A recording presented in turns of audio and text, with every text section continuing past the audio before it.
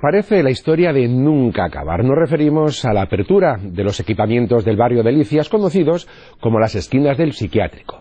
Se anunciaron para 2007, después para 2009 y hoy todavía permanecen cerrados. Por eso Chunta Aragonesista ha denunciado lo que califica de incapacidad de gestión del equipo de gobierno del Ayuntamiento de Zaragoza.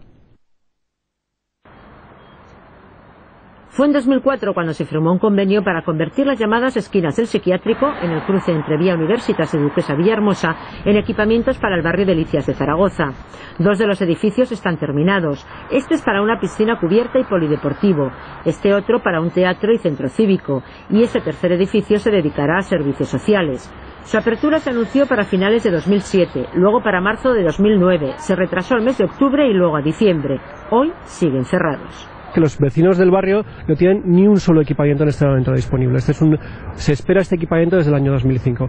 Y lo más grave es que siguen sin abrirse, pero en este folleto de las instalaciones deportivas municipales que tengo aquí delante figura este centro deportivo, el centro deportivo Duquesa Villahermosa, al que todos los ciudadanos pueden llamar para apuntarse a sus actividades como abierto. Junta Aragonesista acusa a PSOE y PAR de incapacidad de gestión y de falta de voluntad política. Además, critica que la gestión de los equipamientos deportivos se haya privatizado. En breve, si tenemos que fiarnos de las palabras del equipo de gobierno, tendremos la piscina que se ha privatizado para poder abrirla. Pero no tenemos fecha ni para el teatro, ni para el centro cívico y, por supuesto, para el edificio del Óvalo, que ni siquiera está cedido por parte del Gobierno de Aragón al Ayuntamiento de Zaragoza, no tenemos ninguna fecha. Para Chunta Aragonesista lo que ocurre con estos equipamientos no es único, ya que hay otros muchos, como la harinera o el cubit, que siguen cerrados al público.